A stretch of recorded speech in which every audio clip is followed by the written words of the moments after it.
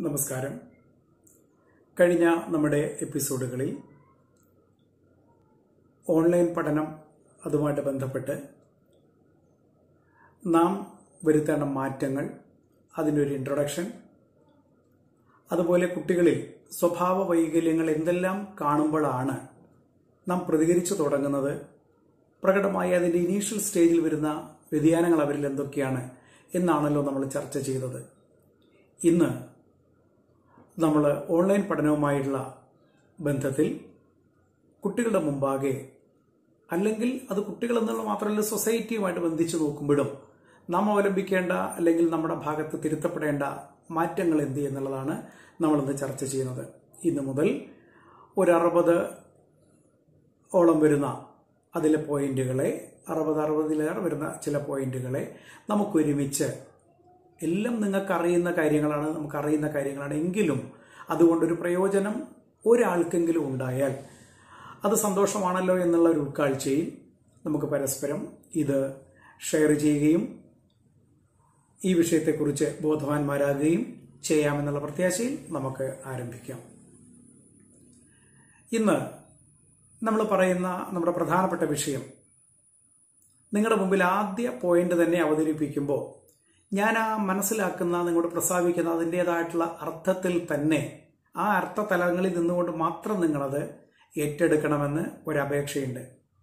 ഈ പറയുന്നതിനെ തെറ്റായൊരു വ്യാഖ്യാനത്തിലേക്ക് പോകാൻ ഇടവരരുത് എന്നുള്ള ഒരു സൂചന കൂടെ പ്രാരംഭത്തിൽ തരട്ടെ.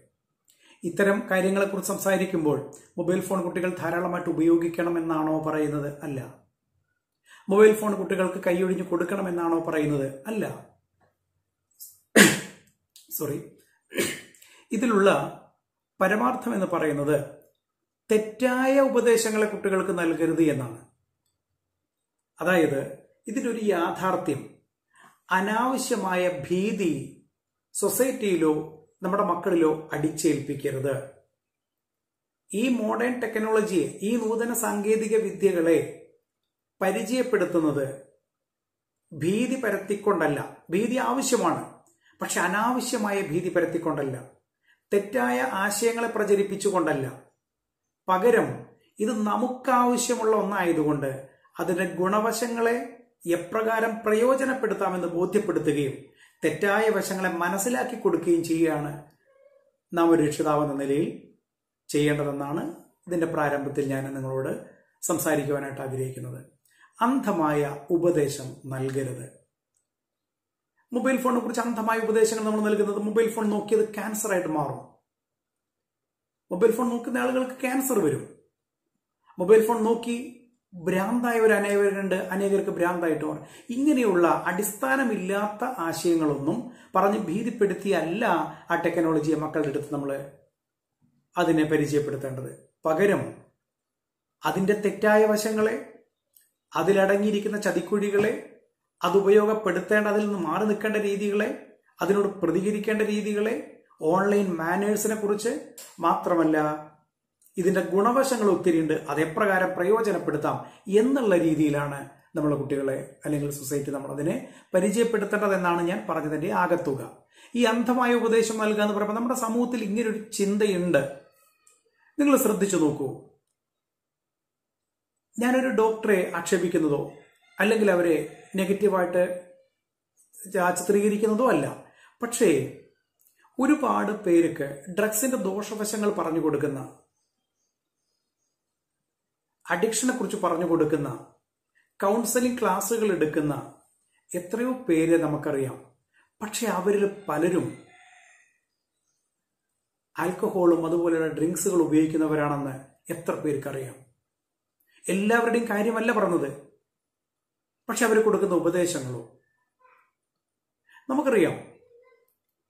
നിയമം പാലിക്കേണ്ട നിയമം കാക്കേണ്ട അത് നടപ്പിൽ വരുത്തേണ്ട എത്രയോ പേര് ലഹരിക്കടിമയായിട്ട് അപകടങ്ങൾ ഉണ്ടാക്കുന്നതും പ്രശ്നങ്ങൾ വരുത്തി വെച്ചതും നമ്മൾ മാധ്യമങ്ങളിൽ കൂടെ കാണുന്നില്ലേ? റോഡ് സേഫ്റ്റിക്കെതിരെ റോഡ് സേഫ്റ്റിക്ക് വേണ്ടി ബോധവൽക്കരണ ക്ലാസ് എടുത്ത് അനേക സ്റ്റേജുകളിൽ പ്രസംഗിച്ച് അനേകര റോഡ് നിയമങ്ങൾ പഠിപ്പിച്ച ഒരു മാന്യദേഹമല്ലേ? ചില മാസങ്ങൾക്ക് മുമ്പ് ഒരു മീഡിയ പ്രവർത്തകന്റെ നെഞ്ചത്ത് കൂടെ വാഹനം ഓടിച്ച് കയറ്റി അർദ്ധരാത്രിക്ക് കേസിലും കൊല്ലാപ്പിലുമായി ഇപ്പോൾ നടക്കുന്നത്. അപ്പൊ അന്ധമായ ഉപദേശങ്ങൾ നൽകുന്നതിനെ കുറിച്ചാണ് ഞാൻ പറയുന്നത്. അത് രണ്ട് തരത്തിലാണ്. പ്രാവർത്തികമാക്കാതെ ആ ഉപദേശ ഉപദേശത്തെക്കുറിച്ച് പറയുകയും അതിൽ കാമ്പില്ലാത്ത ഉപദേശങ്ങൾ നൽകുകയും ചെയ്യുന്നതിന്. ഇനി അതുപോലെ തന്നെ നിങ്ങൾ നോക്കൂ. വിവിധ തലങ്ങളിൽ നിന്നുകൊണ്ട് സർക്കാരിന്റെ ശമ്പളം വാങ്ങിച്ച് സമൂഹത്തിൽ ബോധവൽക്കരണ നടപടികൾ കാര്യങ്ങൾ ഉൾക്കൊള്ളുകയും ചെയ്യുകയും ചെയ്യുന്ന എത്രയോ പേര് അത് ആ തെറ്റായ ആശയം ജീവിതത്തിൽ അനുവർത്തിച്ചുകൊണ്ടാണ് അതിനെതിരെ പ്രസംഗിക്കുന്നത് എന്നുള്ളത് നമ്മൾ കാണുന്ന കാഴ്ചയല്ലേ? അതുപോലെ ഫിലിം ഇൻഡസ്ട്രി മുതൽ സോഷ്യൽ തലങ്ങളിൽ ഉന്നത നിലകളിൽ നിൽക്കുന്ന എത്രയോ പേര് എത്രയോ പേര് പുതിയ തലമുറയ്ക്ക് കൊടുക്കുന്ന മെസ്സേജുകളിൽ തെറ്റായ എത്ര ആശയങ്ങൾ നൽകുന്നവരുണ്ട്. നമുക്കറിയാം. നമ്മുടെ സമൂഹത്തിൽ നൽകുന്ന ഞാൻ അന്ധമായ ഉപദേശം വേഗത്തിൽ മനസ്സിലാകാൻ വേണ്ടി പറയട്ടെ. എല്ലാവർക്കും അറിയുന്ന കാര്യമാണ് സ്മോക്കിംഗ് തെറ്റാണെന്നുള്ളത്. ആ സിഗരറ്റിന്റെയോ അതുമായിട്ട് ബന്ധപ്പെട്ടതിന്റെയൊക്കെ പാക്കറ്റിന് മുകളിൽ ഒരു വാചകം എഴുതിയിട്ടുണ്ട്. Smoking is injurious to health പുകവലിക്കുന്നത് ആരോഗ്യത്തിന് ഹാനികരം എന്നുള്ള പരസ്യവാചകം എഴുതിക്കൊണ്ടാണ്. അതിന് മുകളിൽ അതിനേക്കാൾ വലിയ പരസ്യത്തിൽ ഇതൊരു നല്ല പ്രൊഡക്റ്റ് ആണെന്ന നിലയിൽ വിറ്റഴിക്കാൻ മാധ്യമങ്ങളുടെ വർത്തമാന പത്രങ്ങളിലേക്ക് വലിയ പേജുകളിൽ ഇതിന് പരസ്യങ്ങൾ വരുന്നത്. മദ്യപിക്കുന്നത് ആരോഗ്യത്തിന് ഹാനികരം എന്ന് എഴുതി കാണിച്ചിട്ടല്ലേ ഇത് വിൽക്കാൻ പ്രോത്സാഹിപ്പിക്കുന്നതും അനുമതി കൊടുക്കുന്നതും എല്ലാം. അപ്പോ അതാണ് ഞാൻ അന്ധമായ ഉപദേശം. എന്നതിനകത്ത് പറയാനുള്ള കാര്യം. മാത്രമല്ല നമുക്കൊക്കെ വളരെയധികം വേദനപ്പെടുത്തിയ ഒരു മരണമായിരുന്നു കലാഭവൻ മണിയുടെ മരണം. എല്ലാവർക്കും അറിയാം. ഒരു നല്ല മനുഷ്യനാണ് അദ്ദേഹം.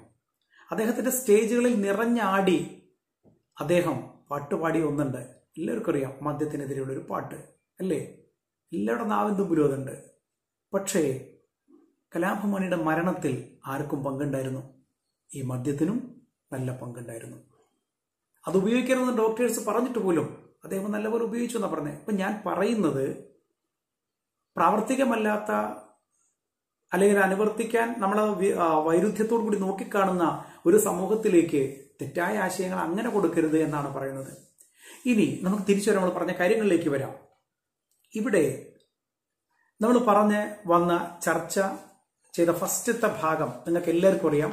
വൈരുദ്ധ്യങ്ങളെ അല്ലെങ്കിൽ വികലമായ ഉപദേശങ്ങളെ അടിച്ചേൽപ്പിച്ച് ഭീതി പരത്തി അല്ല സോഷ്യൽ മീഡിയയിൽ നിന്ന് കുട്ടികളെ മാറ്റിയെടുക്കേണ്ടത് എന്നാണ് പറഞ്ഞതിന്റെ ഒന്നാമത്തെ ഉദ്ദേശം. ആ പറഞ്ഞതിന്റെ ആശയങ്ങളിലേക്ക് വരാം. നമ്മൾ കുട്ടികളോട് എപ്പോഴാണ് ഈ ദേഷ്യപ്പെടുന്നതും പറയുന്നൊക്കെ മൊബൈൽ കൂടുതൽ സമയം ഉപയോഗിക്കുമ്പോൾ മൊബൈൽ സമയം മൊബൈൽ അധിക സമയം ഗെയിം കളിക്കുമ്പോൾ പഠനത്തെക്കാൾ കൂടുതൽ സമയം ഗെയിമിന് വേണ്ടി ഉപയോഗിക്കുമ്പോൾ അപ്പോഴൊക്കെ നമ്മൾ കൊടുക്കുന്ന ഉപദേശങ്ങളിൽ ഒന്നാണ് ഗെയിം കളിച്ച് നീ അങ്ങനെ ആയിത്തീരും ഇങ്ങനെ ആയിത്തീരും ഈ മൊബൈൽ ഒരു ബോംബാണ്. ഈ മൊബൈൽ കുടുംബത്തിൽ പ്രശ്നം വരുത്തുന്നതാണ്. ഈ മൊബൈൽ ക്യാൻസർ ഉണ്ടാക്കുന്നതാണ്. ഇത് കണ്ടാൽ കണ്ണ് പൊട്ടിപ്പോകും. ഇങ്ങനെയൊക്കെ തുടങ്ങിയ ഉപദേശം. ഇതിൽ ചിലതൊന്നും യാഥാർത്ഥ്യങ്ങൾ ഇല്ലാത്ത ഇല്ല.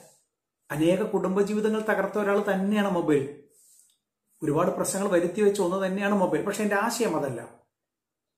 ഈ ഭീകരമായ വില്ലൻ വേഷം ചിത്രീകരിച്ച് ഈ ഒരു പരിവേഷം കൊടുത്തു വെച്ച മൊബൈൽ ഫോണിനെ അല്ലേ കുട്ടികളുടെ മുമ്പിൽ വെച്ച് ഇരുപത്തിനാല് മണിക്കൂറും ഫേസ്ബുക്കിലും വാട്സാപ്പിലും ഇൻസ്റ്റാഗ്രാമിലും ഒക്കെ നമ്മൾ നോക്കിക്കൊണ്ടിരിക്കുന്നത്.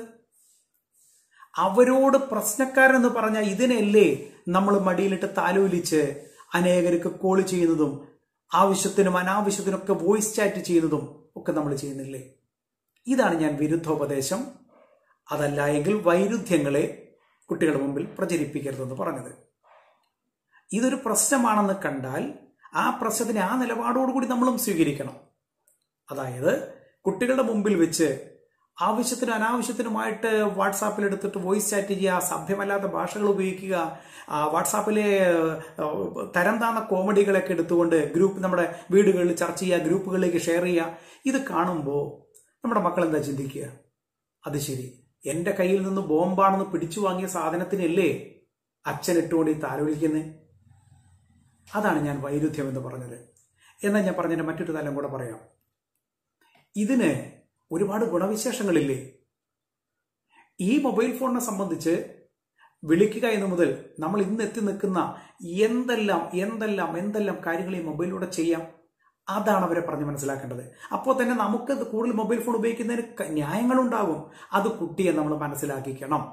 കുട്ടിയോട് നമ്മൾ പറയേണ്ടത് നീ മൊബൈൽ ഫോൺ ഉപയോഗിച്ച് ഗെയിം കളിക്കുന്ന പോലെ എനിക്ക് എന്റെ ഓഫീസ് വർക്ക് ചെയ്യാൻ എനിക്ക് എന്റെ കുടുംബങ്ങളെ വിളിക്കാൻ സമൂഹത്തിലെ പല കാര്യങ്ങൾ ചെയ്തെടുക്കാൻ. ഇങ്ങനെ ഒത്തിരി മേഖലകളിൽ എനിക്കിത് ആവശ്യമുണ്ട്. അതുകൊണ്ട് ആവശ്യത്തിനാണ് ഞാൻ ഉപയോഗിക്കുന്നത്. ഗെയിം കളിക്കാനല്ല എന്നുള്ള ബോധ്യം കുട്ടിക്ക് നൽകണം. പക്ഷെ കുട്ടി കാണുന്നത് മിക്ക സമയത്തും വാട്സാപ്പിലെ കോമഡി കണ്ടിട്ടും ഫേസ്ബുക്കുകളിലും മറ്റു വരുന്ന ഫേക്ക് ന്യൂസുകൾ കണ്ട് വായിച്ച് നമ്മൾ വല്ലാതെ വേവലാതിപ്പെടുന്നതും ഒക്കെയാണ് ഇവൻ കാണുന്നത് ഫേക്ക് ന്യൂസുകൾ ഷെയർ ചെയ്യുന്നതും. അതവൻ പകർത്തുന്നാണെന്ന് പറയുന്നത്. അതല്ലെങ്കിൽ ആ പെൺകുട്ടി അത് അവനെന്ന് പറഞ്ഞ നേരത്തെ പറഞ്ഞ പോലെ അവനെന്ന് ഉദ്ദേശിക്കുന്നതിൽ അവളും പെടും. അപ്പോ ഞാനൊരു കാര്യം കൂടെ കൂടെ സൂചിപ്പിക്കട്ടെ. പഠിക്കുന്ന കുട്ടികളുടെ പുസ്തകത്തിൽ നിങ്ങൾ കണ്ടിട്ടുണ്ടോ ക്യു ആർ കോഡ് അതിനകത്ത് കാണാം. നിങ്ങൾ ക്യു ആർ കോഡ് നോക്കി പരിശോധിക്കൂ. എവിടെ നിന്ന് ക്യു ആർ കോഡ് നോക്കി പരിശോധിക്കുക? ഇവർ മൊബൈൽ ഫോൺ വേണ്ടേ? അടുത്ത് പറയുന്നു നിങ്ങൾ ഇതിനെക്കുറിച്ച് ഗൂഗിളിൽ സെർച്ച് ചെയ്യുമല്ലോ. എവിടെ നിന്ന് നോക്കുക? അവർക്ക് മൊബൈൽ ഫോൺ വേണ്ടേ? അടുത്ത് പറയുന്നു നിങ്ങൾ യൂട്യൂബിൽ സെർച്ച് ചെയ്തതിന് ആൻസർ കണ്ടുപിടിക്കൂ. അപ്പൊ പഠിക്കുന്ന കുട്ടിക്ക് മൊബൈൽ ഫോൺ ഒഴിവാക്കിയിട്ടൊരു പഠനമില്ല എന്ന് പറയുന്നത്. അതുകൊണ്ട് ഇത് ഒഴിച്ചുകൂടാൻ വയ്യാത്ത ഒന്നായി മാറി. അപ്പോൾ നമ്മുടെ സമീപനം അതിനോട് എങ്ങനെയായിരിക്കണം? അതിന്റെതായ രീതിയിലായിരിക്കണം. അതിന് പകരം അത് കണ്ണുപൊട്ടും ഭ്രാന്ത് വരുമെന്ന് അവർ ക്യാൻസർ എന്ന് പറഞ്ഞുകൊണ്ട് ഭീതിപ്പെടുത്തുകയല്ല ചെയ്യേണ്ടത് അതിന്റെ ആവശ്യങ്ങൾക്ക് വേണ്ടി പ്രയോജനപ്പെടുത്താനും അതിന്റെ അനാവശ്യങ്ങളിൽ നിന്ന് മാറ്റി നിർത്താനും കുട്ടിയെ നമ്മൾ പ്രാപ്തരാക്കണം അതാണ് ഞാൻ പറഞ്ഞതിന്റെ ഉദ്ദേശം. ഇനി ഞാൻ ഞാനൊന്നുകൂടെ ചോദിക്കട്ടെ? ഇതിന് ഒരുപാട് നല്ല വശങ്ങളെ കുറിച്ച് നമ്മൾ പറഞ്ഞു. വാർത്ത കണ്ടുകൂടെ? ഒരുപാട് ന്യൂസുകൾ നമുക്ക് കണ്ടുകൂടെ? ചാരിറ്റി പ്രവർത്തനങ്ങൾ നടത്തുന്നില്ലേ? ബോധവൽക്കരണം നടന്നില്ലേ? കോവിഡിനെതിരെ ഇത്ര മാത്രം ബോധവൽക്കരണം നടന്നത് ഏത് മാധ്യമത്തിലൂടെയാ? ഇത്രമാത്രം കാര്യങ്ങൾ വിവിധ ആപ്പുകൾ ഉപയോഗിച്ചും അല്ലാതെയും ഒക്കെ മൊബൈൽ ഫോണിലൂടെ അതിന്റെ സന്ദേശങ്ങൾ പരക്കുന്നത് കൊണ്ട് എത്ര പെട്ടെന്ന് കാര്യങ്ങൾ നമ്മൾ അവയർനെസ് ആയി മാറിയത്? നമ്മൾ അലർട്ടായിട്ട് മാറിയത്? അപ്പൊ അതൊരു നല്ല കാര്യമല്ലേ? ഇനി ബാങ്കിങ് മേഖലകളിൽ വീട്ടിലിരുന്നുകൊണ്ട് നമുക്ക് ട്രാൻസാക്ഷൻ നടത്താം. ബാങ്കിങ് കാര്യങ്ങൾ ചെയ്യാം. അതുമാത്രമല്ല ഒരു റെയിൽവേ ടിക്കറ്റ് ബുക്ക് ചെയ്യുന്നത് മുതൽ കാറ്ററിംഗ് സർവീസിൽ ഫുഡ് ഓർഡർ ചെയ്യുന്നവരെ ഇത് കൊണ്ടെത്തിച്ചില്ലേ? പറഞ്ഞു തുടങ്ങിയാൽ തീരാത്തയധികം കാര്യങ്ങൾ മൊബൈൽ ഫോണിൽ ചെയ്യാവുന്ന ഒത്തിരി നല്ല വശങ്ങളുണ്ട്. അപ്പൊ ഇതൊന്നും കാണാതെ മൊബൈൽ ഫോൺ പ്രശ്നക്കാരനാണെന്ന് പറഞ്ഞ് വിലയിരുത്തുന്നതിൽ ശരിയാണോ? അതുകൊണ്ട് പലപ്പോഴും നമ്മൾ പല വീഡിയോസ് കാണുമ്പോൾ പലരും ഉപദേശിക്കുന്നത് പറഞ്ഞു കേൾക്കുമ്പോൾ പറയുന്ന പ്രശ്നമാണ് എപ്പോഴും പറയുന്നത്. മൊബൈൽ ഫോൺ ഉപയോഗിച്ചാൽ ഇത് കണ്ട് കണ്ട് കണ്ട് കുട്ടി ഇതിനെ കുറിച്ചൊരു ഭീതിയുണ്ട്. പക്ഷേ ഇതേ ഭീതിയുള്ള സാധനമാണ് അച്ഛനമ്മമാര് ഇരുപത്തിനാല് മണിക്കൂർ ഉപയോഗിച്ച് അങ്ങോട്ടും ഇങ്ങോട്ടും ഇത് തലക്കകത്ത് വെച്ച് രാത്രി കിടന്നുറങ്ങുക വരെ ചെയ്യുന്നത്. അപ്പോൾ ഈ കുട്ടി നമ്മളെ തെറ്റിദ്ധരിക്കുന്നതിൽ നമുക്കൊരു വഴക്ക് പറയാൻ പറ്റൂ അതാണ് ഞാൻ ആദ്യം പറഞ്ഞത്. വൈരുദ്ധ്യങ്ങളെ ഇതിലെ വിരുദ്ധ ഉപദേശങ്ങളെ ഇവരിൽ കുത്തി നിറച്ച് ഭീതി പരത്തി അല്ല മൊബൈൽ ഫോണിൽ നിന്നും അകറ്റേണ്ടത് എന്ന് പറഞ്ഞ് നമുക്ക് മുന്നോട്ട് പോകാം. ഒന്നാമത്തെ കാര്യം നമ്മൾ പറഞ്ഞു കഴിഞ്ഞു. രണ്ടാമത്തെ പ്രധാനപ്പെട്ട വിഷയത്തിലേക്ക് വരാം. നോക്കൂ. മൊബൈൽ ഫോണിലേക്ക് കമ്പ്യൂട്ടറിലേക്ക് ലാപ്ടോപ്പിലേക്ക് കുട്ടികളെ പറഞ്ഞു വിടുന്നതിന് ഒരു പ്രേരക ശക്തിയായി നാം മാറരുത്. നമ്മുടെ രണ്ടാമത്തെ വിഷയം അതാണ്. എന്താണ് അങ്ങനെ ഉദ്ദേശിച്ചത്? നിങ്ങൾക്ക് മനസ്സിലായിട്ടില്ല. അതായത് മൊബൈൽ ഫോണിനെ കൂടുതൽ ആശ്രയിക്കാൻ അതിൽ നിന്ന് കിട്ടുന്ന സന്തോഷം വലുതാണെന്ന് കുട്ടി തെറ്റിദ്ധരിക്കപ്പെടാൻ ഒരു കാരണക്കാരായി നാം മാറരുത്. അതായത് മാതാപിതാക്കളിൽ നിന്നും മക്കൾക്ക് ലഭിക്കേണ്ട സ്നേഹം പരിലാളന സംരക്ഷണം ഈ സുരക്ഷിതത്വ ബോധം ഇങ്ങനെയുള്ള ഒത്തിരി കാര്യങ്ങൾ ലഭ്യമാകാതെ വരുമ്പോൾ അത് ലഭിക്കുമെന്ന് തോന്നുന്ന മിഥ്യാതലങ്ങളിലേക്ക് കുട്ടി മാറ്റപ്പെട്ടു പോയാൽ ആരെ നമ്മൾ കുറ്റപ്പെടുത്തുക? ഞാൻ ഓൺലൈൻ പഠനവുമായിട്ട് ബന്ധപ്പെട്ട ഒരു എക്സാമ്പിൾ പറഞ്ഞാൽ നിങ്ങൾക്ക് മനസ്സിലാവും. ഒരു കുട്ടിയുടെ വീട്ടിലേക്ക് വിളിച്ച് പല വർക്കുകളും ചെയ്യാതെ വന്നപ്പോൾ ആ കുട്ടികൾ പറഞ്ഞ കുട്ടി പറഞ്ഞൊരു മറുപടിയുണ്ട്. കർശനമായ മനോഭാവം വീട്ടിൽ ഫോൺ കൊടുക്കാത്തത് കൊടുത്താൽ തന്നെ കൃത്യസമയം ചെയ്യുന്നത് അങ്ങനെയൊക്കെ ഒരുപാട് വിഷമങ്ങൾ ആ വീട്ടിൽ അവരെന്നോട് പങ്കുവച്ചു. പക്ഷേ അതിലൊരു കാര്യം ആ പഠിക്കുന്ന കുട്ടി പറഞ്ഞതാണ് മനസ്സിന് വല്ലാതെ വേദനയായിട്ട് തോന്നിയത്. ആ കുട്ടി പറഞ്ഞത് എനിക്ക് വീഡിയോ ഗെയിം വേണ്ട. എനിക്ക് യൂട്യൂബിൽ കയറി സിനിമ കാണണ്ട. എനിക്ക് ഗ്രൂപ്പിൽ ചാറ്റ് ചെയ്യണ്ട. ഒന്നും എനിക്ക് വേണ്ട.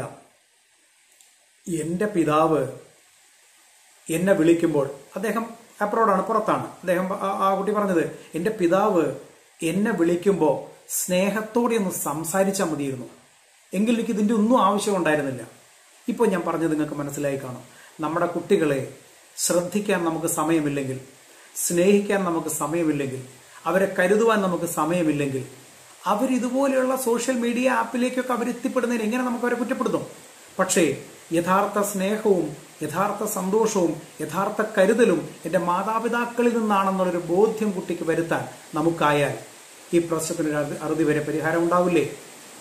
ഞാൻ പലപ്പോഴും പാരന്റിങ്ങിന്റെ ക്ലാസ് എടുക്കുമ്പോൾ പാരന്റ്സിന് ക്ലാസ് എടുക്കുമ്പോൾ ആദ്യം സംസാരിക്കുന്ന ഒരു വിഷയം ഇത് തന്നെയാണ്. രക്ഷിതാക്കൾ അവരുടെ കർത്തവ്യബോധം അഥവാ മക്കളോടുള്ള ചുമതലകളിൽ ഏറ്റവും പ്രധാനപ്പെട്ട ഒന്നാണ് തന്റെ മക്കളെ സ്നേഹിക്കുക അവരെ പരിഗണിക്കുക അവരെ അംഗീകരിക്കുക തുടങ്ങിയുള്ള ഒരുപാട് കാര്യങ്ങൾ. അതുകൊണ്ട് സ്നേഹത്തിന്റെ കുറവ് പരിലാളനയുടെ കുറവ് ഒരു കുട്ടിക്ക് വന്നാൽ ആ കുട്ടി തെറ്റായ ആശയങ്ങളിലേക്ക് പോകുന്നെങ്കിൽ നമുക്ക് അവരെ മാത്രം കുറ്റപ്പെടുത്താനായിട്ട് പറ്റുകയില്ല. വീഡിയോ അല്പം ലെങ്തായി തീരുന്നു എന്നുള്ളതുകൊണ്ട് ഇവിടെ ഇത് നിർത്തിയിട്ട് അടുത്ത വിഷയങ്ങൾ നമുക്ക് അടുത്ത എപ്പിസോഡ് ചർച്ച ചെയ്യാം. നമ്മൾ ആകെ രണ്ട് കാര്യങ്ങൾ മാത്രമേ ടച്ച് ചെയ്തുള്ളൂ.